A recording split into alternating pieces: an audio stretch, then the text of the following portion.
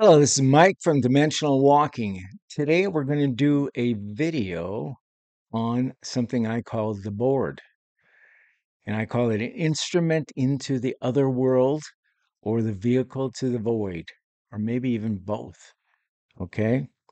So sometimes when I'm getting into like a Friday night late, I start thinking about, you know, maybe writing a new article or something, or I possibly even am getting ready for the uh, weekend uh, production of some videos for the channel.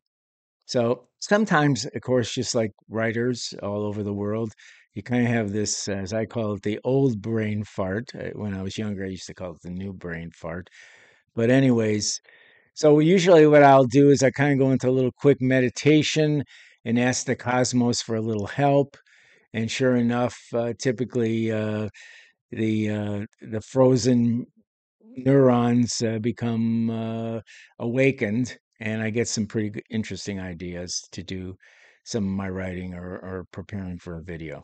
So anyway, so that happened recently, and uh, so I decided to talk about one of my uh, favorite subjects, the board, as I call it, or the Ouija board, as other people call it, or just the Ouija. Um, so first of all, I just want to give you a, just a little bit of history about it, because some people will be kind of surprised about it. Uh, surprising, it was uh, actually created in the United States, okay, and it was in the uh, 1870s by a guy named Reich and he built uh, the first one, which was uh, a wooden one, and uh, it had it sort of had some of the appearances of some Egyptian elements in it too. So where he got that uh, the idea for the board, nobody seems to know. But anyways, it seems like he was interested in Egyptian type things. Um, it really was a, a beautiful piece of artwork. Apparently, still exists some in some museum somewheres and and then uh, this guy Reich ended up selling it to two brothers, uh, a Kendall and a, a Marpin. And uh, so, anyways, they they used it, and they uh, apparently built more of them. Okay, and apparently they did uh, quite well uh, in their venture, and there it started growing, and more people started. Um, you know, using it and and I guess in a way enjoying it. Uh, so they started marketing it, and then uh, a guy named uh, Bill uh, Fold, he went ahead and bought the whole business. Uh, him and his brother, and they they made it a lot of money for the next thirty five years. Um, in the Ouija board business, okay, and they pretty much had cornered the market, I guess, in many ways.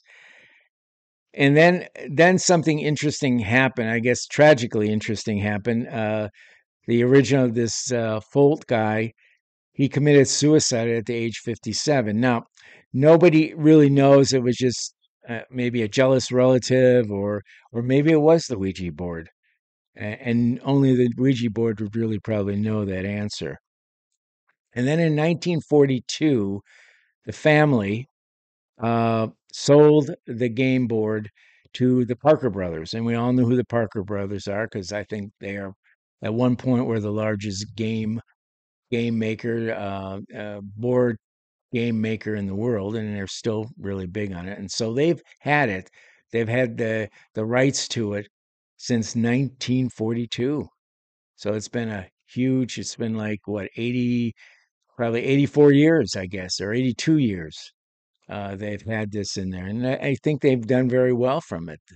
Um, so the Ouija board's been around for about 140 years. Okay. Um, so people have been playing it, and I always say they're playing with this vehicle because it is truly a vehicle. Um, and I believe that like 90% of the encounters or the playing with this vehicle have been fine.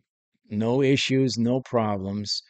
But the other 10%, uh, I would debate, and some people debate that's a very high number, actually had something that went wrong and possibly even messed with their mind, or as I call it, screwed with their mind. Um, And and basically, my feeling has always been the more you play with the Ouija board, you up your chances basically to have a bad experience. Okay. And of course, it's quite addictive. You know, it's the the thrill of the unknown and a possible glimpse uh, into the spirit world keeps people coming back to it. Okay, and again, increasing the chances that you're going to have a bad experience with it. And and there has been quite a few people that had bad experiences with it, and, and I've talked to some of them. Okay, and we'll talk about it later.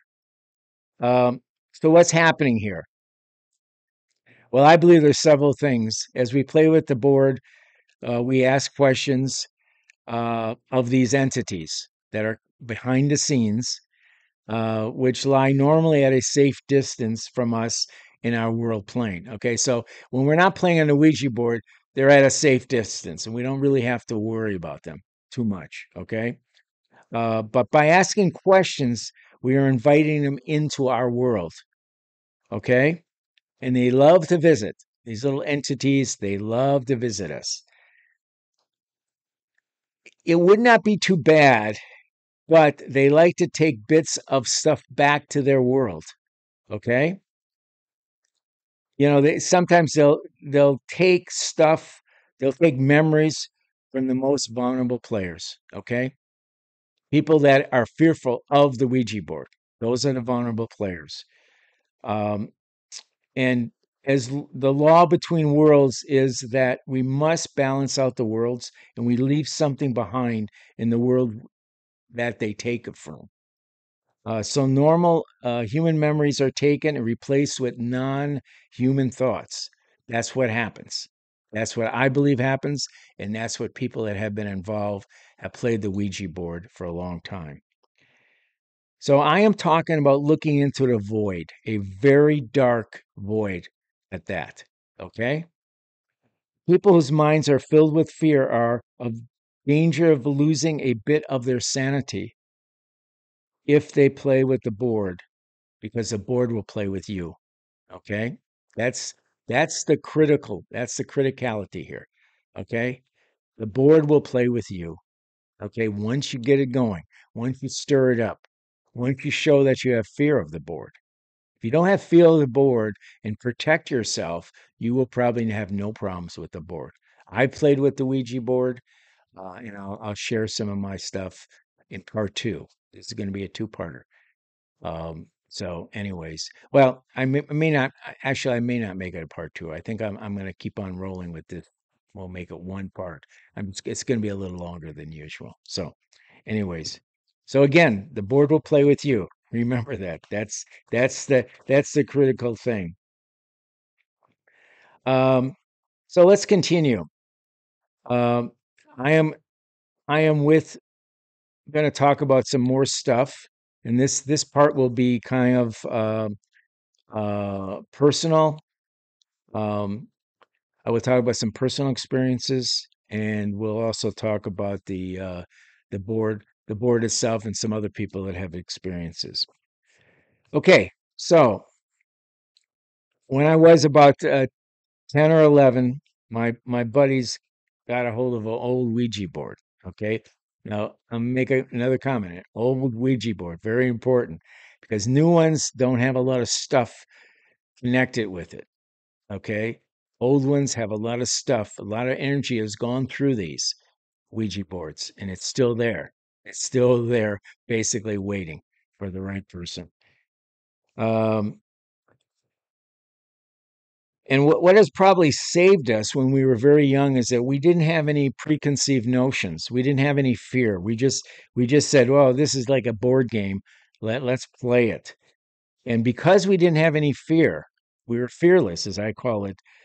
Um, the evil kind of entities that hang out weren't able to draw some of the things they were looking for from us. We we pay we played several times and we definitely seemed to be communicating with something. We definitely felt that we were.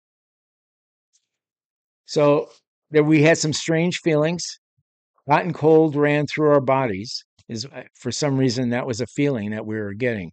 Some of us said we felt cold. While we were playing some people felt we felt hot. They felt hot. Um, and it, and at times, you know, our there would be our little our little body hairs would stand up on end, uh, and that was, you know, that was something uh, that was, I guess, a bit of a a bit of a scariness in itself. I now feel that the beings we were dealing with meant us no harm. I don't I don't think there was any harm for us. We were lucky. We were definitely lucky at that time. The other types would have created fear sooner or later, and innocence of this world would have ended. And and we probably let me think if I can remember. And I'm going back a lot of years. I believe we play, played it about four times as a as that particular group, and that for some reason that was kind of the end of it. Um, so it was about four times, and I think we got out with no no issues that I'm aware of. One one of my uh, brothers, one of my friends' uh, brothers, um, were at least this is what I was told, had a mental breakdown after she used to play the Ouija board by herself. If you play it or try it, never do it alone. Never do the Ouija board alone. Now, I know there's going to be people out there and say, oh, I've done it alone many times, no problems, blah, blah, blah. Most of the problems that I've heard about over the years were because of people were playing it alone. It seems like when you play it alone, these entities can focus, all of them can focus on you. When you're playing with a group, they, this kind of weird energy that goes on has to be spread among the, the people around. And they don't, for some reason, they can't grip onto you. Uh, I guess humans have some strength to resist this, but when you're by yourself, uh, you can't, or you can as well. Anyways, let's put it that way. Okay. So again, never do it alone because I don't think you are again a match for a group of otherworldly entities that are trying to harm you or trying to do something to you or take something from you, etc. So that's that's kind of a lesson that I've kind of learned over the years. I lived in two, and then again, I lived next. I lived in Tucson for several years and met a guy uh, who referred to himself as the old hippie. Okay, he was a smart guy who had a very wonderful and smart wife. Both of them were very curious about everything in the world, including drugs and the board. Okay, I, they probably mixed it sometime, uh, so that probably didn't help because that taking drugs basically will make you weak from a standpoint you cannot defend yourself as well. I mean, it only makes sense. Okay, you know, like alcohol, other types of drugs, your mind is not quite on its peak. Okay, and and I don't have to tell you that. I think everybody knows that one. Um, well, he seemed to not have a problem with it, but over time, my the old hippie guy, but over time, his wife became withdrawn and depressed. My old uh, old hippie friend told me over a few years later that she told him that the board had come to her in a dream and showed her something that terrified her, nearly put her into shock and and she was really never the same and no therapy seemed to help her. Um, yeah i met her and that's absolutely right. She was not the same person she was when i first met her. Uh, it had absolutely done something to her uh, i you know i was hoping maybe she would tell her husband or tell me or tell somebody what she actually saw i don't know what it was um, so then then there was a fame the famous case and i'm sure some of you have heard of it it was called the uh, uh, Gulf Breeze 6. I lived in Atlanta when it happened, and I was really lucky to get close to talk with uh, a person. Um, actually, we brought this person to a group that I work with in Atlanta, the Atlanta Paranormal UFO uh, Forum. And this, the brothers, and he and he talked about his brother's experience. And this guy's name was, I think, Vance Davis, if I remember correctly. Um, this information back in the early 60s was to say was a, at the very least mind blowing. Okay, at that time there was very little known about this incident of the uh, Gulf Breeze Six. So these were six military personnel from an intelligence unit. They started playing with the Ouija board. Okay, so these guys are already into intelligence. They're pretty, they're smart guys. They're very smart guys, but all of a sudden they're playing with the Ouija board. I, I, I don't quite remember. I ended up reading the, the full book of, of the whole incident. It's really, really quite amazing. Um, so this event, they all went, they all went AWOL. Actually, that's important to tell you, I guess.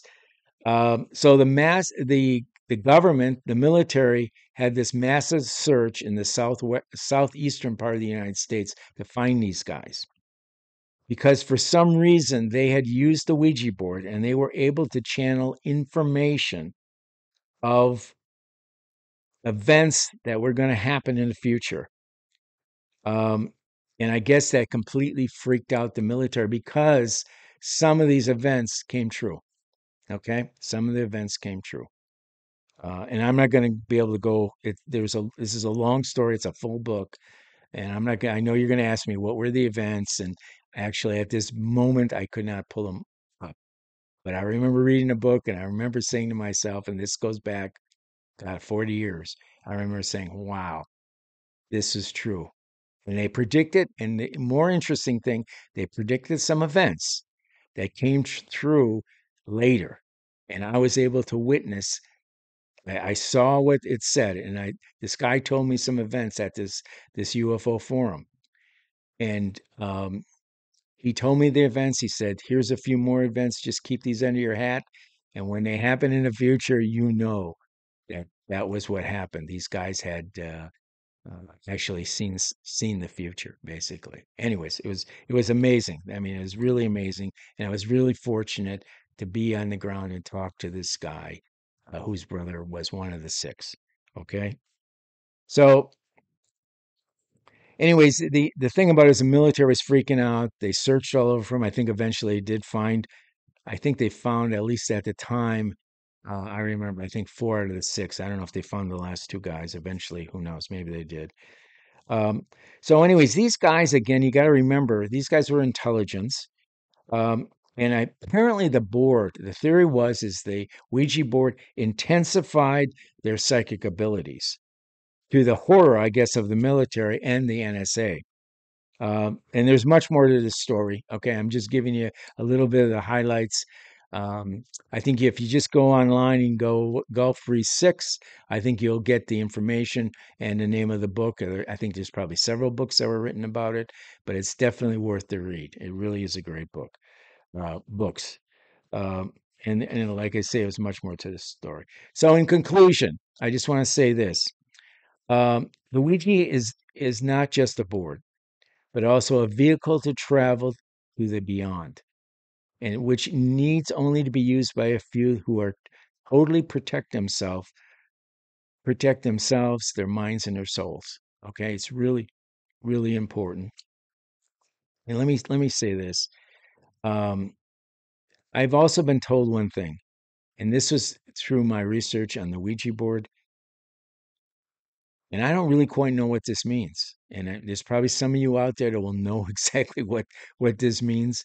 And if you do, please let me know because I'm a little unsure of what it means. It says, the Jesus gene is what makes us interesting to those of the other worlds. Um, so if you understand what that means, please, uh, please let me know. Um, anyways, with that said, that's it. Uh, the Ouija board is not for the faint-hearted, and I, I particularly do not. And and as years went by, and I did a little more research, I pretty much uh, told my kids, please, please, please, don't use the Ouija board. Okay, uh, I think there is some inherent dangers unless you really protect yourself and you're really, really careful with it. It can really cause some harm. So, anyways, with that said, let's see. Bye bye.